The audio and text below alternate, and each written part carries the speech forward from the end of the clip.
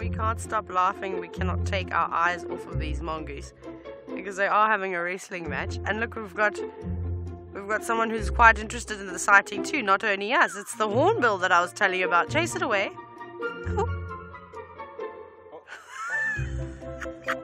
Has it just pretended to be dead?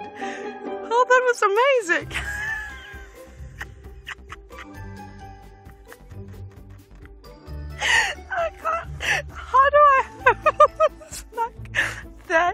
That is hands down the coolest.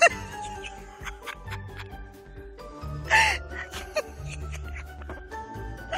is the coolest thing I've ever seen. I honestly did not know that mongoose did that.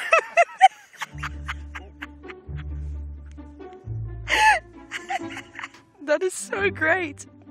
Now they're just going to wrestle right next to the hornbill. Oh my goodness! Look at that. And these must be youngsters. They're very inquisitive by this bird. I don't think the adults would pay them too much attention. Now, I don't think the hornbill's also going to want to eat them. I cannot, can't believe that. I cannot believe what we just saw. We see things like that with snakes often. Often. Oh no. That was really funny. Now, as we look at these these uh, funny animals play around, and I said to them, I was like, I don't think the hornbill's going to eat the mongoose. Nancy, you've just wondered about whether the mongoose would eat the bird. Well, typically mongoose do, and I think I've told you stories.